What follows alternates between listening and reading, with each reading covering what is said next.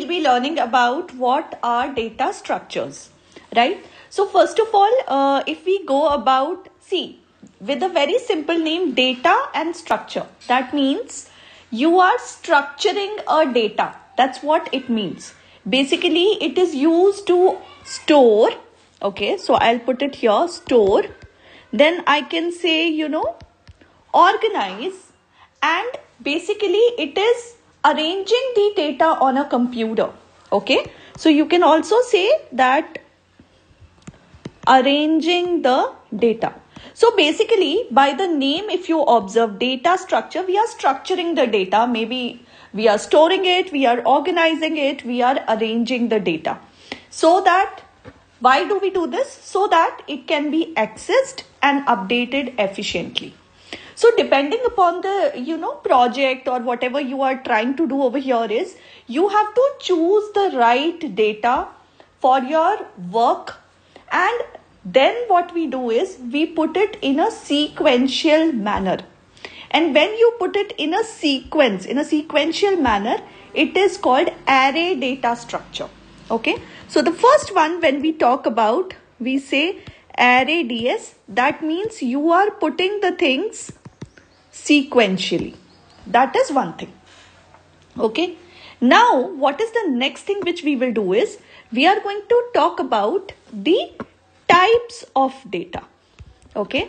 So, if I talk about the types of data structure, so basically there are two categories, right? So, the first category, if I talk about, it is, we can say it is linear data structures and the second one is non-linear data structures.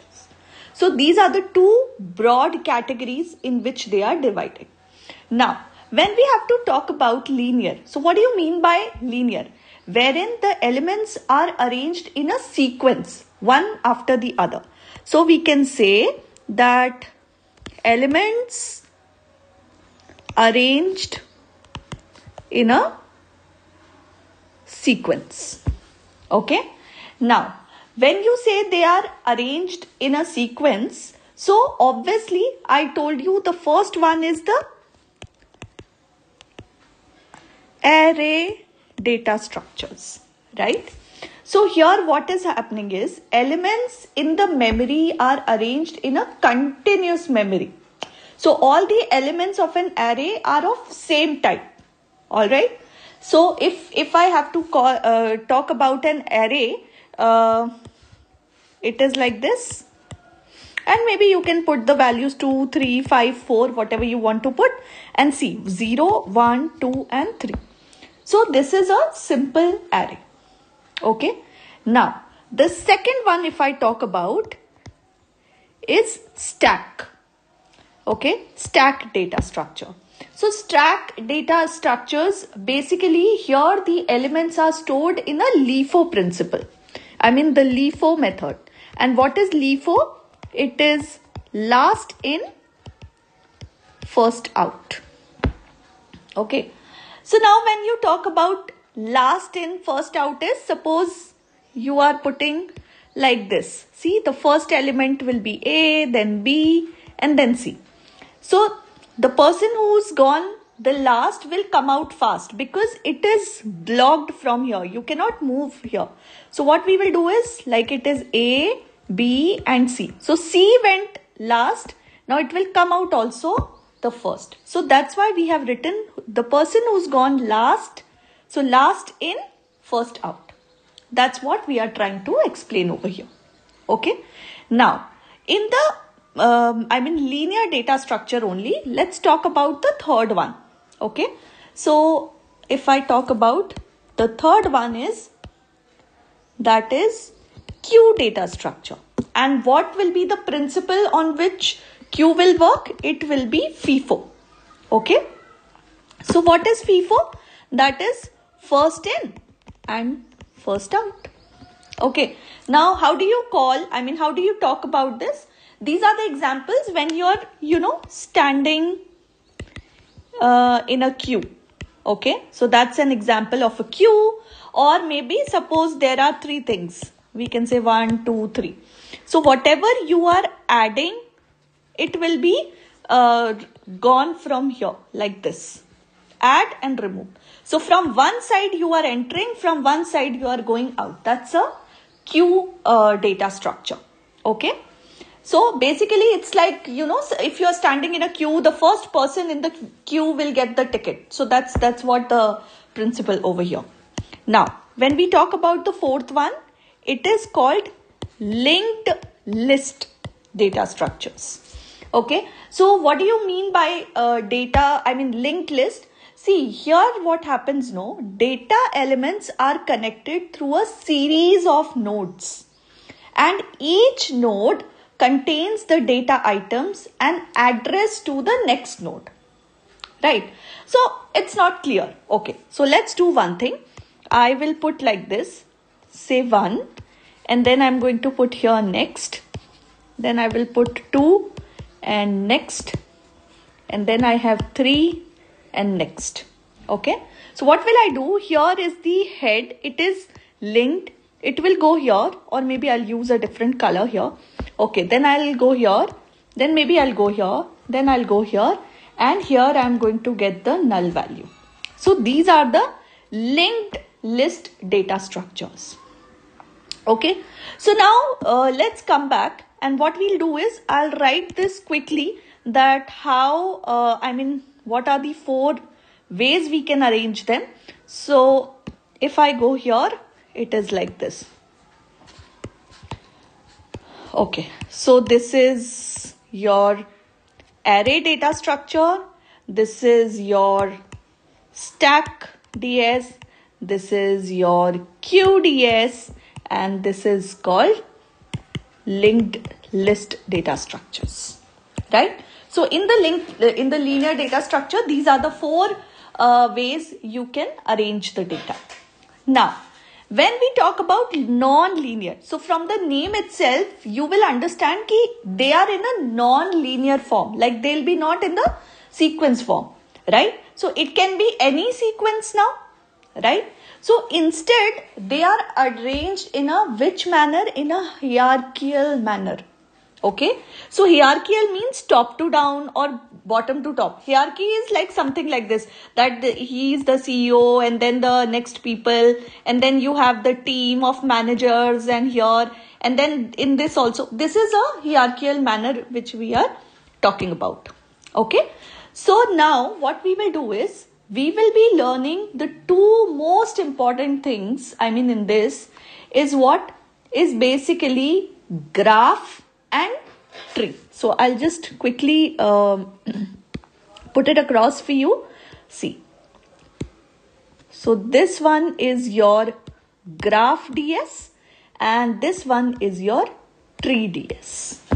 Okay. So that's how the non-linear data structures are uh, done. Now let me talk about the graph data structures for you. Okay. So here I go when I talk about graph DS. Okay. So what do you mean by a graph? Here each node is called the vertex. Okay. And it is connected to the other vertexes using the edges. So what do you mean by that? So suppose if I talk about, I will say here, maybe like this. Okay. So this is A, B, C, D and E. So what is happening? See, this is vertex 1, vertex 2, vertex 3, vertex 4, vertex 5. So these are all connected. It can be any way. See, like this, like this, or maybe like this, or maybe like this. It can be any way. Okay. So this representation is a graph uh, data structure. Okay. Now, what happens with this is you know in this also we have different types of uh, graph data structures like uh, minimum tree and then you know uh, sorry uh, spanning tree and minimum spanning tree. And then we have adjacency uh, matrix adjacency list. So all these we'll discuss in the coming uh, videos. Okay. Now when i talk about you know say trees data structure. Okay so now similar to a graph, a tree is also a collection of vertices and edges. but in the tree there can only be one edge between two vertices so its structure will be somewhat like this you know two then you've named like three and then it is like four and five. So it's in the tree form. Like in the branch we have you know uh, trees and uh, that way. In a tree we have branches and leaves and so on. So it's like that. Plus there are many uh, ways of doing it like binary tree we have you know binary search tree and many other ideas. So that we'll uh, discuss as and when we progress. Now let's learn about the difference between the two right? That is between the linear and non-linear okay so what is the first thing which we will talk about? The first thing is they are the data is arranged arranged in a sequential manner. Okay.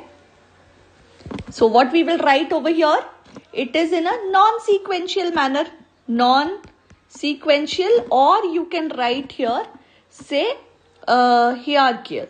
Here what we will say all the items which we talk about, right? All the items are present in a single layer.